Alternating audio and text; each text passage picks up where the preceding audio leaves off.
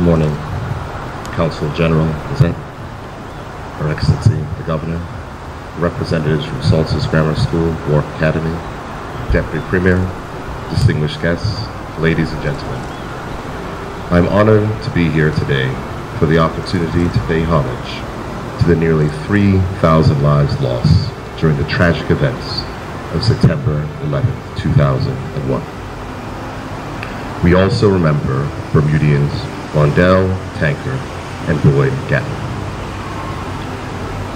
Rhondelle Tankard lived in Devonshire. She liked to sing and serve as a church music minister, choir instructor, and perform at weddings.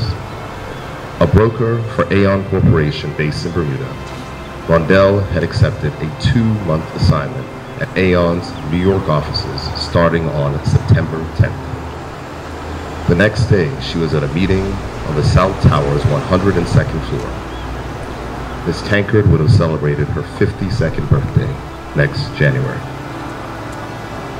Boyd Gatton was born in Paget, Bermuda, and moved to the United States in 1992. He lived in Jersey City and was an operations officer at Fiduciary Trust.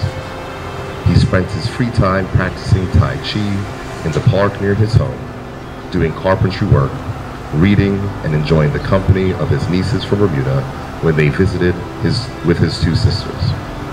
Boyd Gatton would have celebrated his 59th birthday on October the 8th.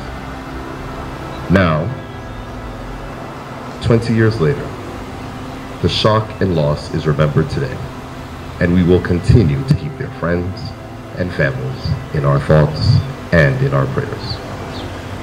We will always keenly feel the losses, and I want to take a moment to recognize the incredible heroism demonstrated on that day. The first responders, the police officers, paramedics, everyone who played a part, large or small, to help save lives.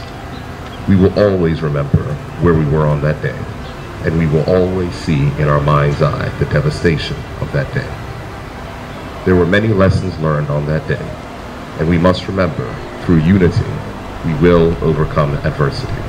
And we must pledge to do our part to make this world in which we live a little safer. Thank you.